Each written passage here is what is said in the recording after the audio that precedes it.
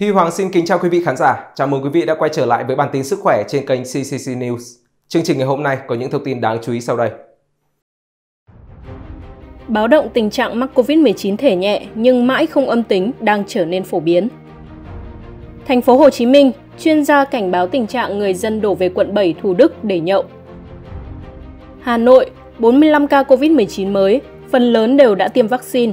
F0 mới giải rác khắp miền Bắc, Bạc Liêu ghi nhận thêm ca mới tăng kịch trần. Lại hoãn ban hành hướng dẫn về giá xét nghiệm COVID-19 mới.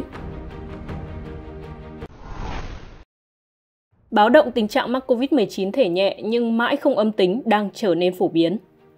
Về vấn đề F0 nhẹ dương tính mãi không khỏi hẳn, bác sĩ Trương Hữu Khanh lý giải rất khó để nói tình trạng dương tính dai dẳng đến bao giờ mới kết thúc. Nó phụ thuộc hoàn toàn vào cơ thể của chúng ta. Thực tế trên thế giới đã có trường hợp dương tính hơn 1.000 ngày, tức là gần 3 năm. Điều này gây rất nhiều bất tiện cho những F0, nhưng chúng ta phải chấp nhận đó là tình trạng phổ biến với căn bệnh này. Ở nước ngoài, F0 nhẹ được thoải mái ra đường, tuy nhiên ở Việt Nam thì khác. Chúng ta hạn chế thấp nhất rủi ro có thể xảy ra, nên F0 sẽ phải ở nhà dù có tải lượng virus thấp. Chuyện dương tính âm tính có thể hiểu như sau. Con virus vào trong cơ thể sẽ nhân lên trong tế bào làm mình dương tính. Khi đó cơ thể sẽ huy động lực lượng tới ngăn chặn không cho nó nhân lên, đẩy nó ra ngoài để giúp mình không bị bệnh nặng. Nếu hai bên kềm giữ nhau ở tình trạng cân bằng thì mình không có bệnh. Đây chính là tình trạng F0 không triệu chứng. Đến khi nào mình mạnh hơn nó, đẩy được hết virus ra ngoài, khi cơ thể hết virus thì sẽ âm tính.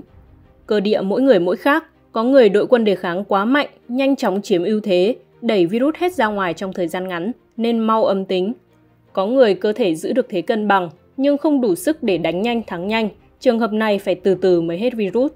Dương tính kéo dài ở người đã khỏe lại, cần lưu ý là vẫn phải cách ly, bởi vì khi còn dương tính là còn có nguy cơ lây cho người khác.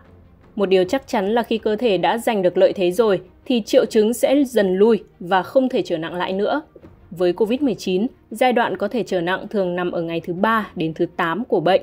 Qua mốc đó, nếu F0 vẫn không có triệu chứng thì không phải lo nữa. Lúc đó test nhanh sẽ thấy vạch T bắt đầu mờ hơn lần test ở giai đoạn toàn phát. Xin được chuyển sang thông tin tiếp theo.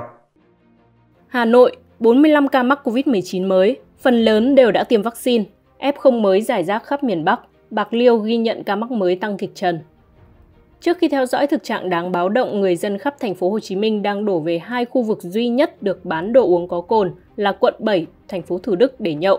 Chúng ta sẽ cùng điểm thật nhanh qua tình hình dịch bệnh ít giờ vừa qua. Đầu giờ chiều nay, Bạc Liêu ghi nhận thêm 404 ca dương tính với COVID-19.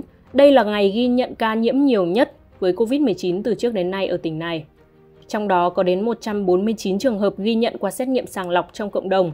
Ban chỉ đạo phòng chống dịch bệnh COVID-19 tỉnh Bạc Liêu cho biết, tình hình dịch bệnh COVID-19 trên địa bàn đang diễn biến hết sức phức tạp, ca nhiễm trong cộng đồng lây lan nhanh và liên tục tăng cao trong nhiều ngày qua.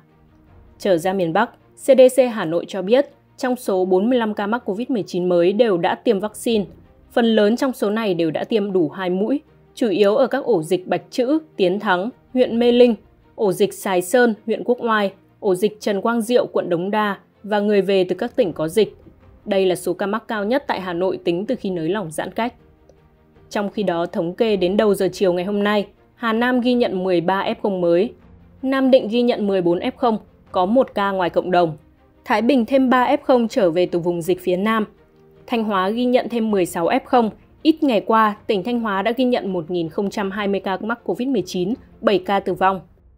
Về công tác điều trị tại Việt Nam, hiện vẫn còn gần 3.000 F0 nặng. Cụ thể, thở oxy qua mặt nạ 1.969 ca, thở oxy dòng cao HFNC 587 ca, thở máy không xâm lấn 103 ca, thở máy xâm lấn 312 ca, ECMO tim phổi nhân tạo 19 ca. Xin được chuyển sang thông tin tiếp theo. Thành phố Hồ Chí Minh, chuyên gia cảnh báo tình trạng người dân đổ về quận 7 Thủ Đức để nhậu. Theo chỉ đạo mới nhất của thành phố Hồ Chí Minh, riêng quận 7 và thành phố Thủ Đức được mở dịch vụ đồ uống có cồn. Thực tế thí điểm tại hai địa phương, nhưng chính người dân và lãnh đạo quận 7 thành phố Thủ Đức đều bị áp lực vì lo ngại các nơi đổ về để uống bia. Tại chương trình Dân hỏi thành phố trả lời, bà Phạm Khánh Phong Lan, trưởng ban quản lý an toàn thực phẩm thành phố Hồ Chí Minh dự báo nhiều khả năng người dân sẽ đổ về đây để nhậu. Bà khuyến cáo, Thật đáng tiếc nếu có người dân nào đó phải lặn lội xa xôi để đến quận 7 Thủ Đức để ăn nhậu, gặp gỡ bạn bè, nhưng sau đó lại khuyến mãi thêm con Covid. Tôi hy vọng sau thời gian thí điểm thì các hoạt động kinh tế sẽ được mở cửa thêm, chứ không phải là trường hợp xấu là toàn thành phố đều cấm bán rượu bia tại chỗ do các chỉ số về phòng chống dịch như là số ca nhiễm, số ca tử vong tăng lên. Đối với người dân khi ăn uống ngoài hàng quán, bà Phong Lan khuyến cáo nên đeo khẩu trang tối đa, chỉ tháo khẩu trang khi đang ăn uống, sau đó lại đeo vào để hạn chế nguy cơ lây nhiễm bệnh. Và đặc biệt, nếu thấy hàng quán đông, người dân không nên vào quán trong thời điểm nhạy cảm này. Xin được chuyển sang thông tin tiếp theo. Lại hoãn ban hành hướng dẫn về giá xét nghiệm COVID-19 mới. Bộ Y tế đã công bố dự thảo về giá xét nghiệm mới từ cuối tháng 9, dự kiến áp dụng từ ngày 1 tháng 11. Mức giá này sẽ khiến dịch vụ xét nghiệm giảm giá ít nhất từ 20% so với hiện hành. Trong cuộc họp gần đây của Phó Thủ tướng Lê Minh Khái với các bộ ngành liên quan, các bộ ngành cũng đã đề nghị Bộ Y tế sớm ban hành hướng dẫn về giá xét nghiệm. Tuy nhiên, theo thông tin từ Bộ Y tế, Bộ vẫn đang phối hợp với Bộ Tài chính hoàn thiện dự thảo và xin ý kiến của các bộ ngành liên quan để đưa ra mức giá phù hợp. Trước khi ban hành, Bộ sẽ thông tin tới người dân. Như vậy, quy định về giá xét nghiệm mới sẽ hoãn ban hành, không phải áp dụng từ mùng 1 tháng 11 như dự thảo trước đây. Xin được chuyển sang thông tin cuối cùng. Nếu phân bổ lại vaccine dư thừa, mỗi tháng sẽ có thêm 200 triệu liều.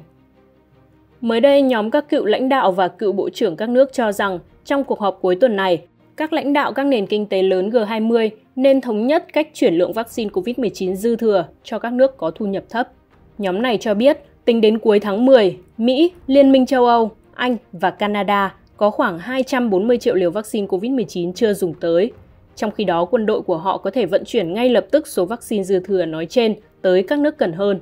Nếu tiếp tục làm như vậy, theo tính toán của nhóm, đến cuối tháng 2 năm 2022, sẽ có tổng cộng 1,1 tỷ liều vaccine dư thừa được chuyển đến các nước cần hơn. Một lãnh đạo G20 chia sẻ, sẽ là vô đạo đức nếu tất cả số vaccine này bị lãng phí trong khi toàn cầu ghi nhận 10.000 ca tử vong vì COVID-19 mỗi ngày. Nhiều ca trong đó đáng lẽ có thể được ngăn chặn. Bất bình đẳng vaccine tiếp tục là mối đe dọa với tất cả chúng ta. Tất cả chúng ta chỉ an toàn khi mọi người đều an toàn. Nhóm các cựu lãnh đạo cũng cho biết Tổ chức Y tế Thế giới WHO có thể đạt được mục tiêu tiêm chủng cho ít nhất 40% dân số mỗi nước trên toàn cầu trước cuối năm 2021 nếu G20 ra quyết định chung về việc chuyển khẩn cấp lượng vaccine dư thừa của họ cho các nước khác. Nếu không được tiêm chủng khẩn cấp và rộng rãi, các biến thể sẽ tiếp tục xuất hiện ở các khu vực chưa được tiêm chủng và có thể lan rộng, từ đó thách thức thành quả đã đạt được ở nhiều quốc gia đã chủng ngừa. Nội dung vừa rồi đã khép lại chương trình của tin tức sức khỏe.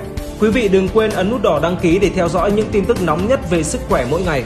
Còn bây giờ xin kính chào tạm biệt và hẹn gặp lại.